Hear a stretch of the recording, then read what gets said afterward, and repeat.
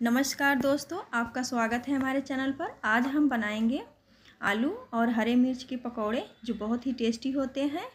यहाँ पर हमने आलू लिया है, धो के इसे। हमने बारीक बारीक कट कर लिया है, गोल शेप में।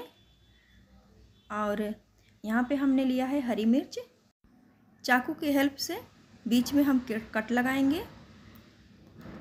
इसी तरीके से हम सारी मिर्च को काट लेंगे।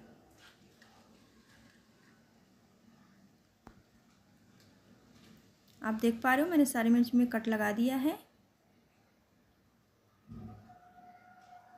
यहाँ पे मैंने कटोरी में थोड़ी सी नमक लिया है। एक चम्मच, छोटी चम्मच नमक है और ये खट्टा अमचूर है, एक छोटा चम्मच। और ये मिर्च में हम डालेंगे जो हमने कट लगाए थे। इससे बहुत अच्छा टेस्ट हो जाता है। आप कभी ऐसे ट्राई करना। मैं ऐसे सारे मिर्च में डाल दूँगी बीच में। जहाँ हमने कट लगाए थे और ये एक कटोरी बेसन है और उसमें नमक स्वाद अनुसार लाल मिर्च एक चम्मच और एक चम्मच खट्टा अमचूर और छोटी चम्मच गरम मसाला, एक चम्मच जीरा और बारीक कटी हुई हरी धनिया, चाट मसाला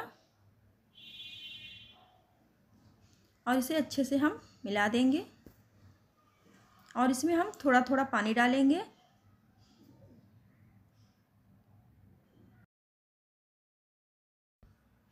और इसे हम अच्छे से मिलाएँगे। न ज़्यादा गाढ़ा, न ज़्यादा पतला, स्मूथ बैटर बनाना है। आप देख पा रहे हो। आलू के पकौड़े के लिए बिल्कुल ऐसा ही घोल चाहिए।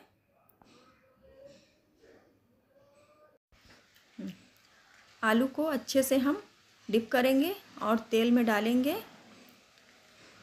मैंने इसमें सरसों का तेल डाला था और इसे हम चलाते रहेंगे। पकौड़े का कलर चेंज हो गया है और ये पक गया है। इसे हम निकाल लेते हैं एक प्लेट में।